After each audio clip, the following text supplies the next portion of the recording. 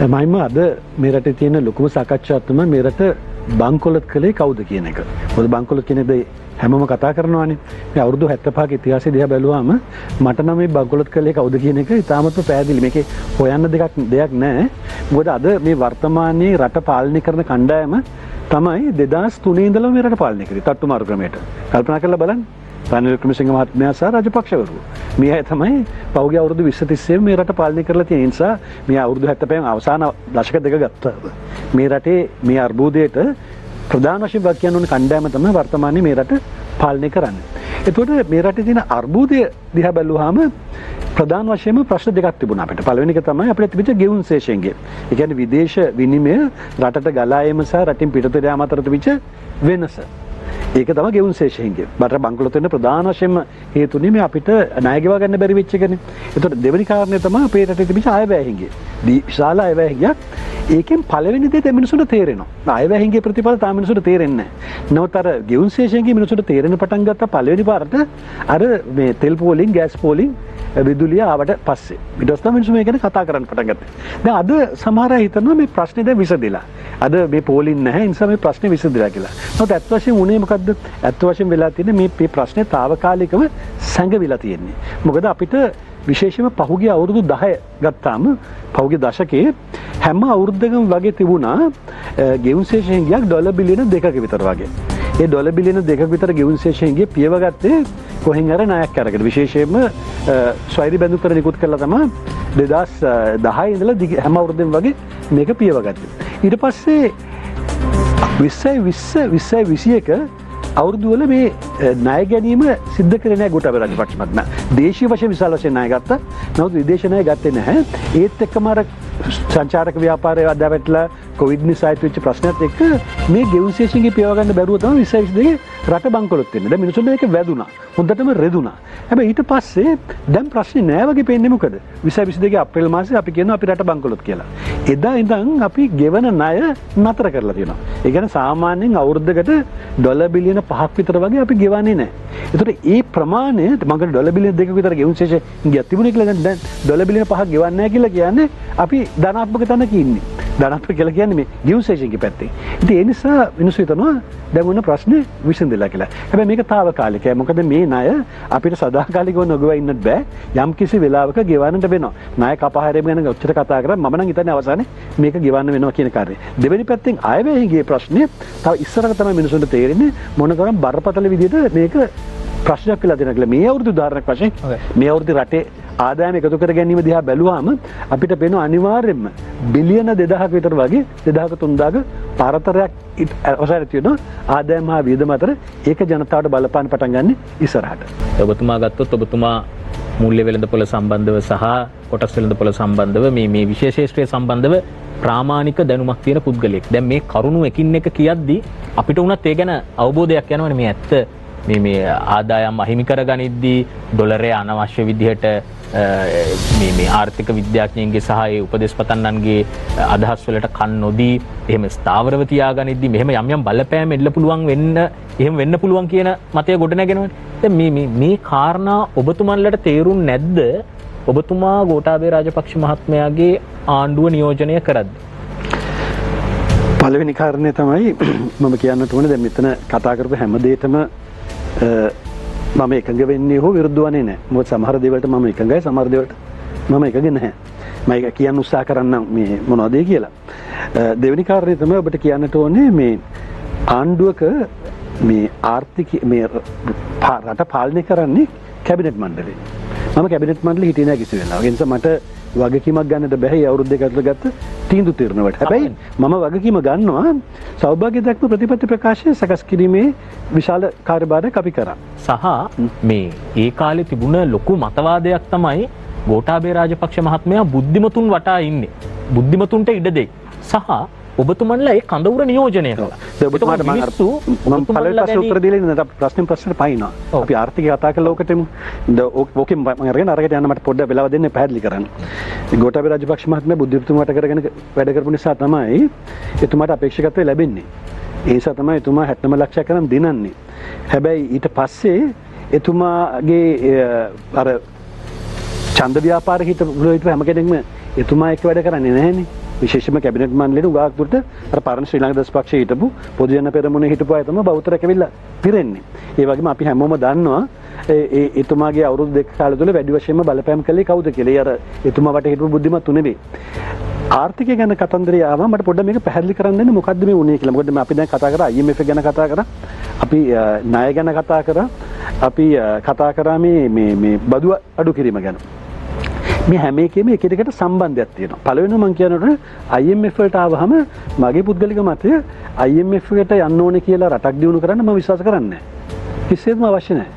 මහ- මැලේසියාවේ මහතීර් මොහොමඩ් IMF ප්‍රතික්ෂේප කරා. ආසියානු මුදල් ක්‍රයිසිස් එක ආපු වෙලාවේ. හැබැයි මේ වෙලාවේ දෙදස් දහනමේ ආණ්ඩුව ගත්ත වෙලාවේ උදේගමන්පිල මහත්මයා කිව්වා වගේ IMFට යා යුතුව තිබුණා කියලා මමත් විශ්වාස කරනවා මම ඒකට හේතුව කියන්න. ඒකට හේතුව තමයි 2015 2019 කාලේ මේ රටේ ආර්ථිකය පාලනය කර ඇත්තොසවික රනිල් ක්‍රමසිංහ මහත්මයා සිරිසේන මහත්මයා හිටිය ජනාධිපතිවරයා වශයෙන් මතකද මතකද ඔබට ඒ කාලේ ආර්ථිකය කඩා වැටිච්ච හැටි.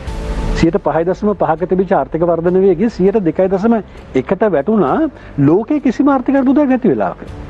ඒ වගේ මේ දීර්ඝ කාලය තුළ මම හර්ෂ රාජකරණ මහත්මයාට පොඩ එකතු කරන්න ඕනේ ෆිෂ් රේටිං මෝඩි රේටිං අඩු වෙන්න පටන් ගත්තේ ඒ කාලේ. දෙදස් විස්ස වෙනකොට අපේ රේටිං හොඳට මඩු වෙලා තිබුණේ.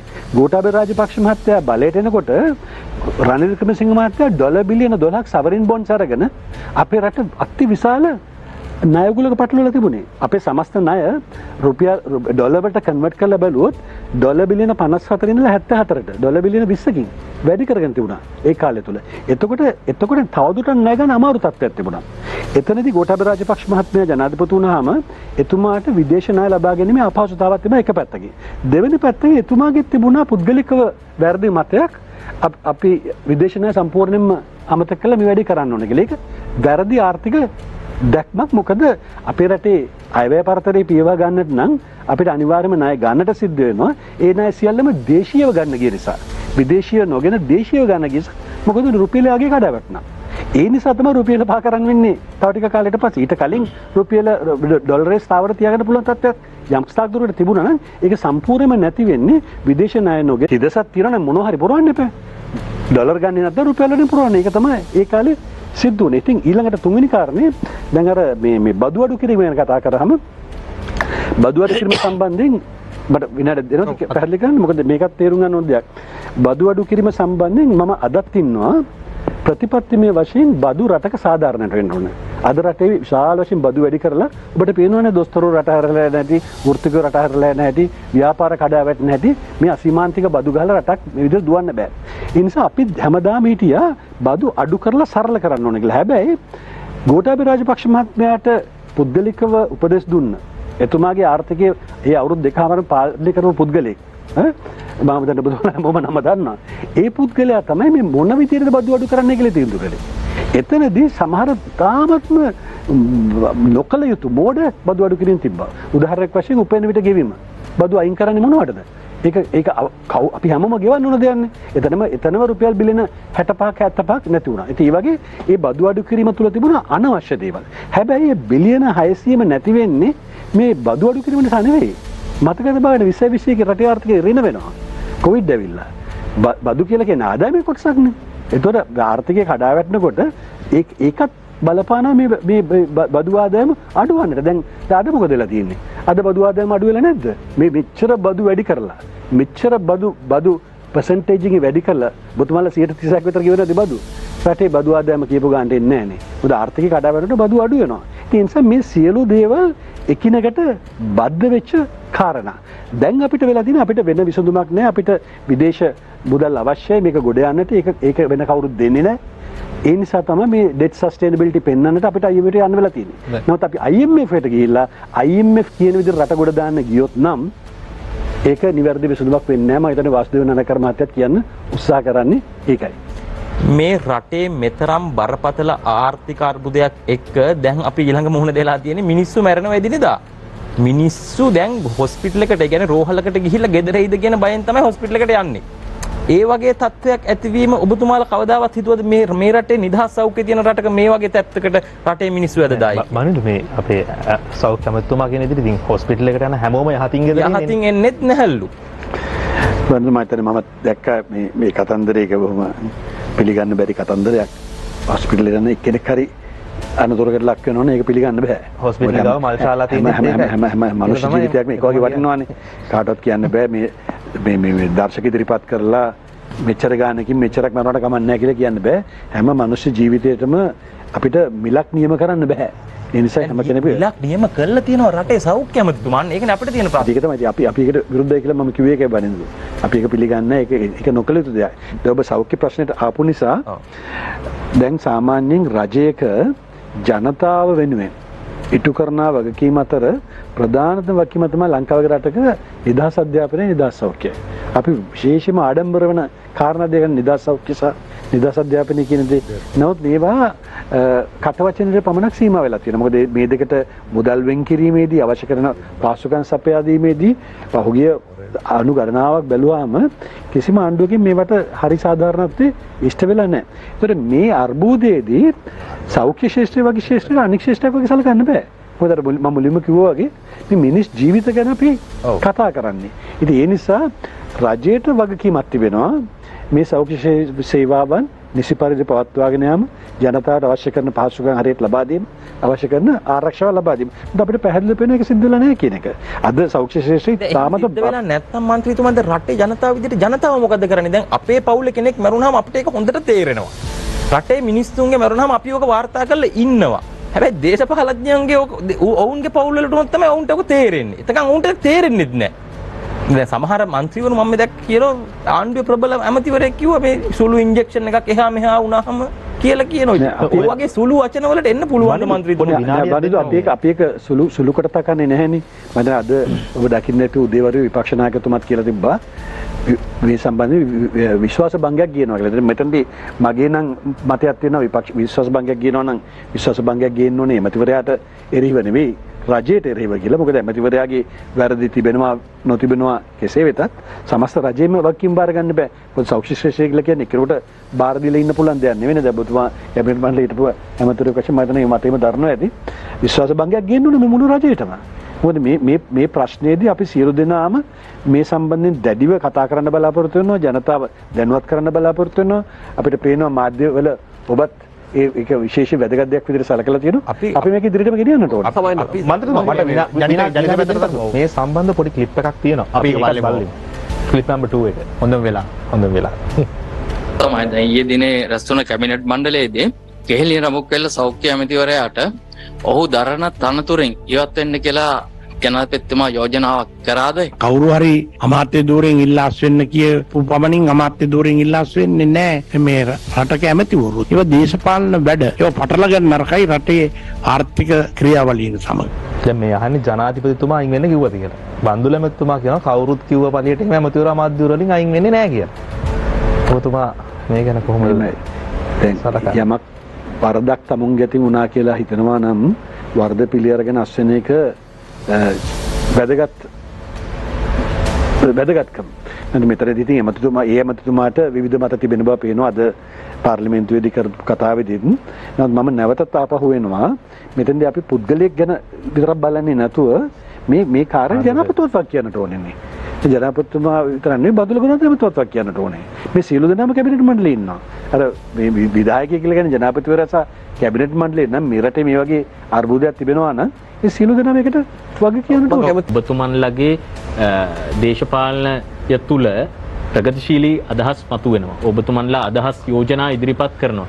හැබැයි ඒ දේවල් වලට ආණ්ඩුවලින් සඳහනගත ආණ්ඩුවලින් නිසි ප්‍රතිචාර නොලැබෙන තැන හරි ඔබතුමන්ලා කියන විදිහට ඒවට ඇහුම්කන් දෙන්නේ නැති තැන හරි ඔබතුමන්ලා ඊට විරුද්ධ වෙනවා එතනින් ගැලවෙනවා දැන් අ, උදයගම්මපිල මහත්මයා කලින් සඳහන් කළා මේ ඔබතුමන්ලව ඇණයක් වුණා කියලා ඒ ආණ්ඩුවල දැන් මේ తত্ত্বය ඔබතුමන්ලා සඳහන ආණ්ඩුවක නියෝජනය කරන කුඩා කණ්ඩායම් විදිහට එහි මම මේ කුඩා කියලා අදහස් කරන්නේ මේ මතවාදීව හෝ එහෙම ප්‍රමාණාත්මකව බලලා නෙවෙයි മന്ത്രി ධූර. ඔව් മന്ത്രി ධූර වශයෙන් ගත්තාම එහෙම කණ්ඩායම් විදිහට එකතු වීම ඔබතුමන්ලගේ ඔය ප්‍රගතිශීලී දේශපාලන අදහස් ඉස්සරහට ගෙනියන්න කොච්චර දුරට වැදගත් වෙයිද? මොකද අපි දැක්ක දැන් ඔබතුමා ගත්තොත් දෙදස් දහයෙන් පස්සේ අ, ඔබතුමන්ලා නියෝජනය කරපු හෙලවුරුමය විදිහට වැඩ කටයුතු කළා.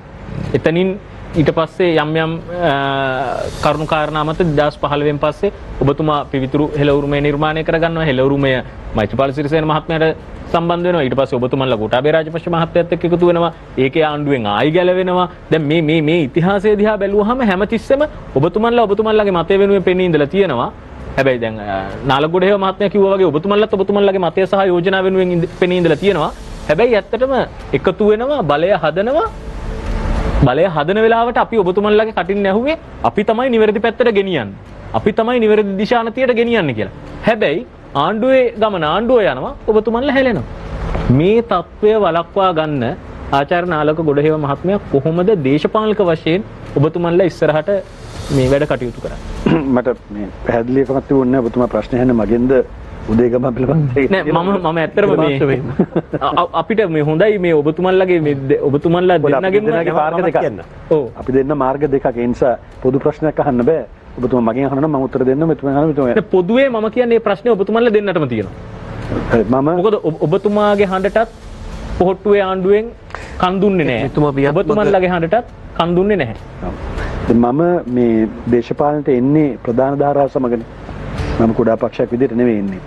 අපි ප්‍රධාන ධාරාවට එකතු වන්නෙත් යම්කිසි ප්‍රතිපත්තියක් ක්‍රියාත්මක කරවන්නට ඒ වෙලාවේ ජනාධිපති අපේක්ෂකයා වූ ගෝඨාභය රාජපක්ෂ මහත්මයා එකඟ වෙච්ච නිසා. අපි අපි ඉන්නේ ඇත්ත වශයෙන්ම බලයටත් වඩා යම්කිසි දැක්මක් නිසා. ඒ දැක්මට අපි නායකයෙක් හදාගන්න නායකයා එකඟ වෙන එක ක්‍රියාත්මක කරන්න අපි එකතු වෙලා විශාල පිරිසක් යම්කිසි ප්‍රතිපත්ති මාලාවක් ඉදිරිපත් කළ සෞභාග්‍ය දැක්ම විශාල බලාපොරොත්තු ඇතුව දේශපාලනයට ඇවිල්ලා විශාල මහජන සහයකුත් ඇතුව විශාල ඡන්දගානකින් දිනලා දේශපාලනයට එනවා. නමුත් රජයේ මුල කාලේ අපි දකිනවා රජය සීරසියම නෙවෙයි නමුත් බොහෝ දුරට ඒ- ඒ ප්‍රතිපත්ති ඉටු කරනවා වෙනුවට වෙන පාරක යන්න පටන් ගන්නවා. නමුත් අපි මේ වෙලාවේ ඒක වළක්වන්නට පුළුවන් තැනක නෙවෙයි ඉන්නේ. මොකද අර බං මේ අපි දිගින් දිගටම කියනවා වගේ අර විදායකී කියන ප්‍රධාන ධාරාව තුල නෙවෙයි මම හිතියෙන් සමට ඒකට හැකියාවක් තිබුණා ඒක නවත්තන්නට. නමුත් ඊට පස්සේ 20 22 සිද්ධ වෙච්ච ක්‍රියා ක්‍රියාවලිය තුල ගෝඨාභය රාජපක්ෂ මහත්මයාට යන්නට සිද්ධ වෙනවා. ඊට පස්සේ පොදු ජන පෙරමුණ අපේ අපේ පක්ෂය අපි අවුරුදු ගණනාවක් තිස්සේ දශක ගණනාවක් තිස්සේ ප්‍රතික්ෂේප කරමින් හිටපු ප්‍රතිපත්ති වල නායකයව ගෙනල්ලා කණ්ඩායම නායකයාට පත් කරගන්න. එතකොට අපි මම මම පුද්ගලිකව දකින්නවා මොනම හේතුවක් නිසාවත් ඒ ප්‍රතිපත්ති එක අපිට එකඟ වෙන්න බෑ කියලා. රනිල් වික්‍රමසිංහ මහත්මයා පොදු ජන පෙරමුණට ආවා කියලා රනිල් වික්‍රම මහත්මයා වෙනස් වෙන්නේ නැහැ. පොදු ජන පෙරමුණට වෙනස් වෙන්න වෙන එක ප්‍රමණය වෙන්නේ කියන එක අපි දුටුව නිසා තමයි අපි එතනින් ස්වාධීන වෙන්නේ. ස්වාධීන වෙලා අපි මේ වෙලාවේ අපේ අපේ ප්‍රතිපත්ති මත අපේ මතවාදය මත කටයුතු කරමින් සිටිනවා. ඉදිරියේදී දේශපාලනයේ අ, වෙන්නේ මොකද්ද කියන කාරණේ අපි බලමු. ඒකට අර උදේගමන් පෙළ මහත්තයා කිව්වා වගේ තව කල් තියෙනවා. මැතිවරණ කෙරුවට බලමු කොහොමද ඒකට මුහුණ දෙන්නේ. මම හිතන්නේ අපි හැමෝම එකඟ වෙනවා අද මේ රටේ පවතින ආර්ථික අර්බුදයේ ආරම්භය වන්නේ ණය උගලක් නිසා කියන කාරණය. ප්‍රශ්නේ තියෙන්නේ මේක අද විසඳලා තියෙනවද ඉස්සරහට විසඳන පාටක්වත් තියෙනවද කියන එක. මම පොඩි ගාණක් කියලා ඔබට පටන් ගත්තොත් 2005 මේ රටේ ණය තිබුණේ මේ ඩොලර් රුපියල් දෙකම එකට එකතු කරලා ඩොලර් වලට කන්වර්ට් කරලා කිව්වොත් ඩොලර් බිලියන 24යි. මේක ඩොලර් බිලියන 30කින් වැඩි වෙනවා 2014 වෙනි. ඩොලර් බිලියන 54 වෙනවා. ඊළඟට ඉතුරු එතර ඒ අවුරුදු 10ක කාලය තුළ ඊළඟ අවුරුදු 5ක කාලය තුළ මේ ඩොලර් බිලියන 54 ඩොලර් බිලියන 74 වෙනවා. අවුරු ඩොලර් බිලියන 20කින් වැඩි වෙනවා. ඉතින් පහුගිය අවුරුදු 3 ඇතුළත දැන් මේ වෙනට ඩොලර් බිලියන 84යි.